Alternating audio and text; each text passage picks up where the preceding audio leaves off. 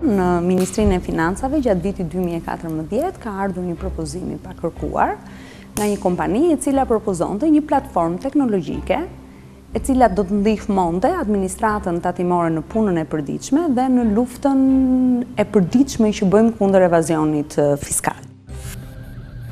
Një platformë teknologjike që ka hapur një debat të madh. Ne jemi garantues të sovranitetit të Republikës, por me këtë akt po tentohet që Republika të bëhet rrush e kumbulla. Këto që nuk merret me mbledhjen e TVSH-së. Nuk bën mbledhjen e TVSH-së. Nuk e bën mbledhjen e TVSH-së. Çfarë thonë ekspertët që hartuan projektin dhe kush fshihet pas ofertës së pakërkuar? Si po e justifikon qeveria dhënien e këtij koncensioni dhe çfarë manovrash po përdor për prezantimin e tij në publik?